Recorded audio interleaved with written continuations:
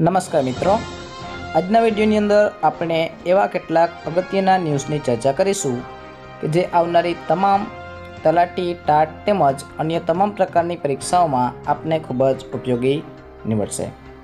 તો વાત કરીએ પ્રધાનમંત્રી માતૃવંદના યોજનાની, તો આ યોજના પ્રથમ વખતની સગર્ભા અને ધાત્રીઓને મળવાપાત્ર છે કે જેની અંતર્ગત પાંચ હજાર રૂપિયા રોકડ સહાય રૂપિયા આપવામાં આવે છે. કુંવરબાઈનું મામેરું યોજના અંતર્ગત અનુસૂચિત જાતિની કન્યાઓને બાર હજાર રૂપિયાની સહાય આપવામાં આવે છે. જ્યારે વિદ્યાસાધના યોજના અંતર્ગત અનુસૂચિત જનજાતિની ધોરણ નવમાં ભણતી બાળાઓને સાયકલ વિતરણ યોજનાનો લાભ મળવાપાત્ર છે.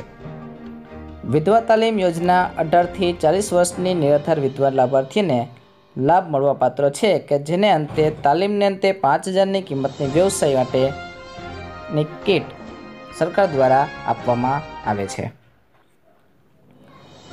મહેસાણામાં યોજાયો સોફેસ્ટ બે હજાર અઢાર ફેસ્ટિવલ. તો વાત કરીએ તો મહેસાણામાં આવેલી ગણપત યુનિવર્સિટી ખાતે રાજ્યમાં સૌ પ્રથમવાર આંતરરાષ્ટ્રીય કક્ષાનો અગિયારમો સાઉથ એશિયન યુનિવર્સિટીઝ ફેસ્ટિવલ સોફેસ્ટ બે હજાર અઢાર યોજાઈ ગયો. આ ત્રણ દિવસીય સમારોહમાં ભારત ઉપરાંત નેપાળ, ભૂતાન, બાંગ્લાદેશ, શ્રીલંકા મોરેશિયસ અફઘાનિસ્તાન અને સાઉથ એશિયાના વિવિધ દસ દેશોના વિદ્યાર્થીઓએ સાંસ્કૃતિક કાર્યક્રમમાં ભાગ લીધો હતો. આ કાર્યક્રમમાં વિવિધ દેશોના ત્રણસો નવ વિદ્યાર્થીઓ સહિત દેશની ચાલીસ યુનિવર્સિટી અને વિદેશની પચીસ યુનિવર્સિટીએ ભાગ લીધો હતો. પ્રથમવાર યોજાયેલા આ સોફેસ્ટ બે હજાર અઢાર ફેસ્ટિવલ અંતર્ગત ગણપતિ યુનિવર્સિટીના આંગણે યોજાયો હતો, જે ખાસ અગત્યની નોંધવા જેવી બાબત છે.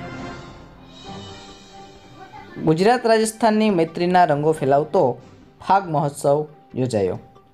અખિલ ગુજરાત હિન્દી સમાજ પ્રેરિત ગુજરાત રાજસ્થાન મૈત્રી સંઘ દ્વારા અમદાવાદમાં નયનરમ્ય રિવરફ્રન્ટના પ્રાંગણમાં વસંતને વધાવતો સાંસ્કૃતિક ફાગ મહોત્સવ યોજવામાં આવ્યો.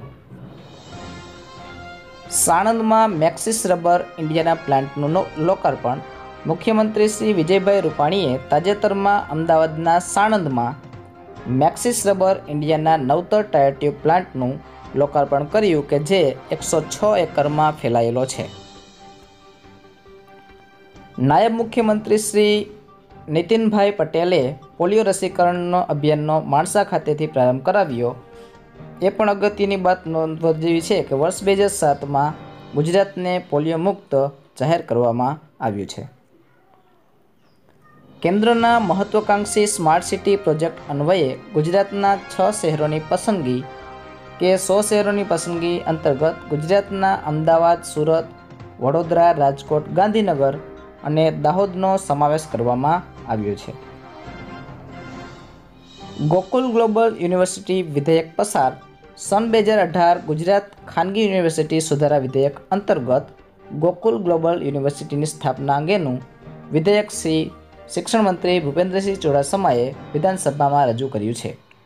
ઉલ્લેખનીય છે કે ઉત્તર ગુજરાતમાં સૌપ્રથમ ખેરવા ખાતે ગણપત યુનિવર્સિટી, ત્યારબાદ વિસનગર ખાતે સાકરચંદ પટેલ યુનિવર્સિટી અને જરૂરી પ્રક્રિયાઓ પૂર્ણ થયા બાદ ત્રીજી એટલે કે ગોકુલ ગ્લોબલ યુનિવર્સિટી બનશે. પાટણ જિલ્લો અને બનાસકાંઠા જિલ્લામાં કૃષિ યુનિવર્સિટીને બાદ કરતાં બીજી કોઈ યુનિવર્સિટી ન હતી, તે માટે ગોકુલ યુનિવર્સિટીની સ્થાપના કરવામાં આવશે. આઠમી એશિયન ટેસ્ટ ઇવેન્ટમાં બે સુવર્ણ પદક જીતીને ભારતનો ડંકો વગાડતી ડાંગની દીકરી. ઉલ્લેખનીય છે કે ઇન્ડોનેશિયાના જકાર્તા ખાતે તારીખ અગિયારથી ચૌદ ફેબ્રુઆરી બે હજાર અઢાર દરમિયાન રમાયેલી આઠમી એશિયન ગેમ્સ ટેસ્ટ ઇવેન્ટ્સમાં ભારતની ડાંગની દીકરીએ બે સુવર્ણ પદક જીતીને ભારતનો ડંકો વગાડ્યો છે.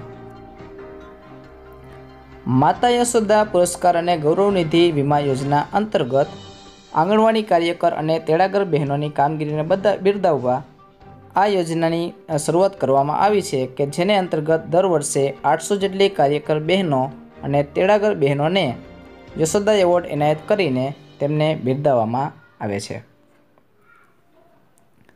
બેટી બચાવો, બેટી પઢાઓ ક્ષેત્રે ઉત્કૃષ્ટ પ્રદાન બદલ અમદાવાદ જિલ્લાને પ્રધાનમંત્રી દ્વારા તાજેતરમાં જ સન્માન કરવામાં આવ્યું છે.